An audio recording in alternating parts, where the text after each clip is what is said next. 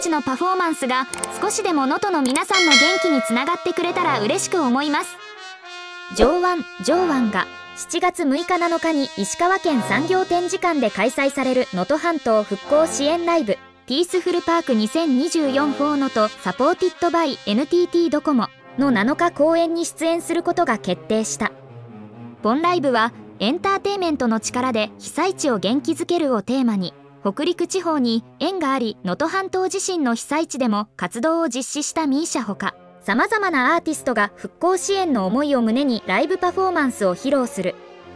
チャリティグッズの販売なども予定。さらに会場及び D 払い R によるオンラインでの募金の受付も予定しており本イベントにおける D 払い募金では D ポイントでの募金も可能。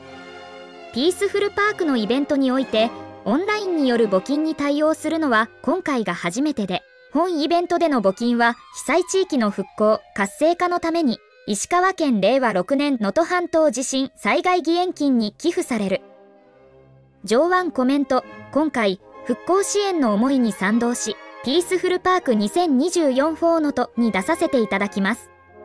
僕たちのパフォーマンスが少しでも能登の皆さんの元気につながってくれたら嬉しく思います。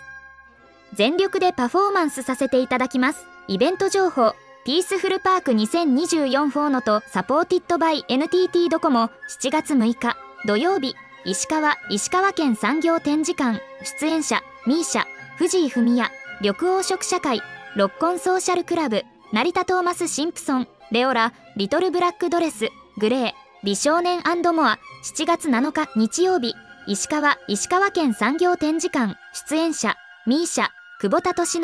元千歳リトルグリーモンスター成田トーマス・シンプソンイクジット今市隆二岩田貴則ザランパジリトルブラックドレス騎士団フルーツジッパー上腕モア。